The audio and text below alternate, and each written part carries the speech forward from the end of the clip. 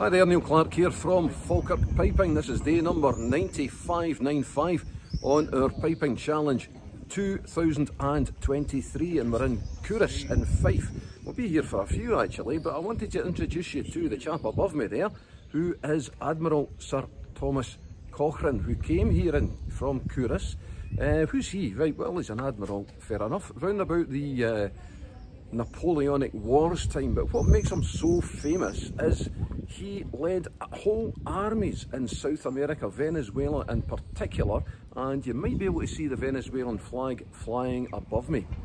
If you've seen the film Master and Commander, that's the man there, it's not Russell Crowe, it's Thomas Cochrane from Culross, and his exploits actually made the film look rather tame in comparison. So, for Thomas here, that's Culross Palace you can see in the background, uh, we'll play a sailor's hornpipe, a rather traditional one, called the Boys of Blue Hill and Derry Hornpipe.